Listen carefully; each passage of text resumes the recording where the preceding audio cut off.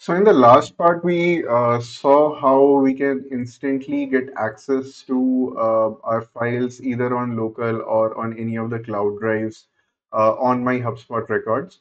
Uh, so right now, I'm going to be working with my files in my Google Drive. Uh, and let's say I uh, want to associate this particular file, this particular Google Doc, to this HubSpot contact so that whenever I come back to the contact, I can see uh, uh, uh, what I have associated or what I have shared with this contact. So I can just click on this. And for now, I'm I'm gonna deselect the sharing option, and I'm only going to attach this particular file to the contact. This is what we call attaching or associating the file.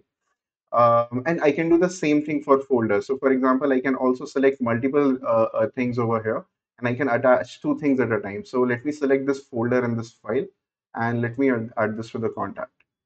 And now you see uh, these two tiles show up on the HubSpot uh, uh, widget, on the Cloud Files widget. Uh, this is uh, my Google Doc, and this is my uh, this is my folder that I have pulled from my from my Google Drive. so at this point, you see that there is no way of sharing this. For example, if I uh, if I click on these, they are either going to uh, take me to my own uh, Cloud Files account where I'm previewing this file, uh, but this is not really a publicly shareable link.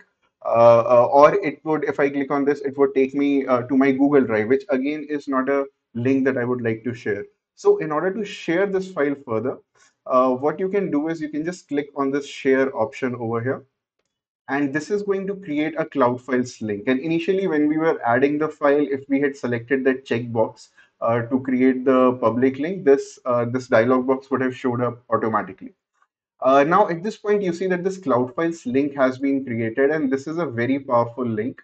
Um, uh, there are a lot of things there are a lot of security settings that you can put up on this link. There is a lot of analytics that you can uh, uh, get on this link. This link can also be created for folders this link can also be created for any type of downloadable or viewable files.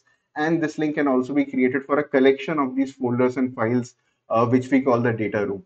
And then you can do a, a bunch of stuff from this uh, on this link right from your HubSpot uh, uh record. So in the next part, we'll cover how exactly the different uh, settings, uh, what are the different settings that we can apply and how what happens when we open this link. So that's it for this part.